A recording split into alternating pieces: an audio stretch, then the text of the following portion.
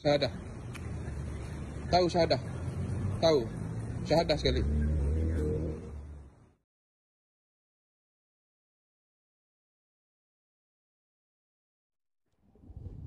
Puak-puak Rohingya diberi tinggal di sini hanya sementara je.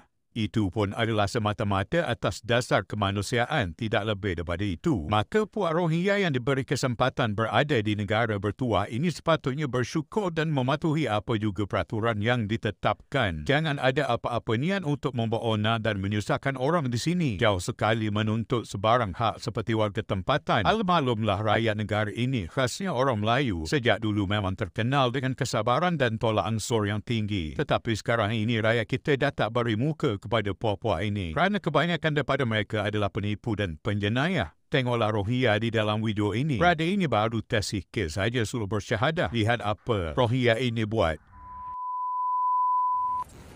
Mak, menengok ni mak. Ni papa suit ni Simon ni. Assalamualaikum. Salam. Dari mana ni? Dari mana? Dari mana? Ha?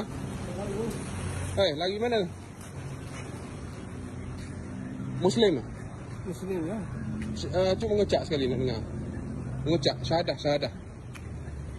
Tahu syahadah? Tahu. Syahadah sekali. Apa syahadah? Kalau Muslim, syahadah sekali. Ha?